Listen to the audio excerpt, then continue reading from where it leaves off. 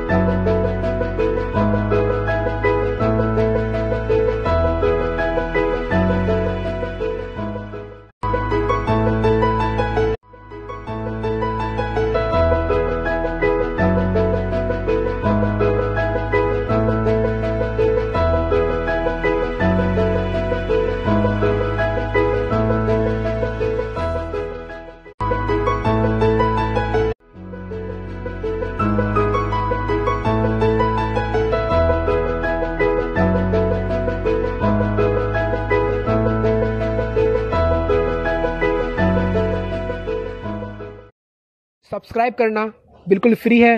साथ ही दोस्तों, घंटी के निशान को ज़रूर दबाएँ, जिससे आपको आगे आने वाली वीडियो प्राप्त होती रहे।